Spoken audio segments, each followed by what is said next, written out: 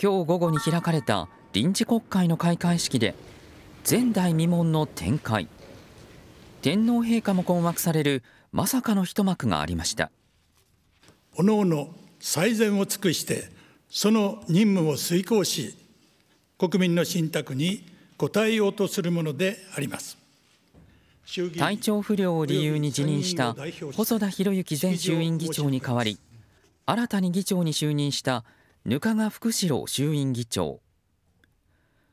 天皇陛下が見守る中式辞を読み上げますが。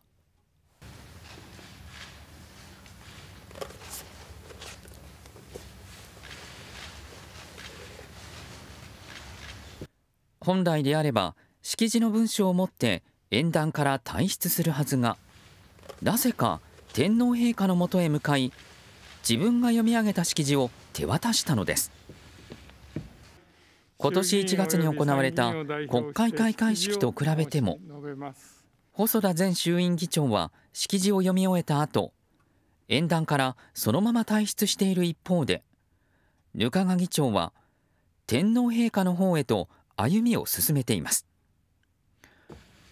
額賀氏が近寄ってくると天皇陛下も横にいた側近の方を確認。そしてもう一度側近の方を確認し文書を受け取られた天皇陛下。笑顔で額賀衆院議長が去っていく様子を見守られました。一連の額賀衆院議長の段取りミスについてフジテレビ政治部の高田デスクは今回の額賀議長の行動は私も長年国会を取材していますけれども本当に前代未聞の行動でしてただそれを見守られる天皇陛下の笑顔というのも非常に印象的でした。また閉会後額賀衆院議長は若干ミスがありましたけれどもこれは私が初めて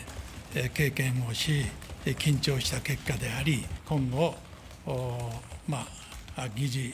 進行とかしっかりと対応することができるように努力をしてまいりたいと。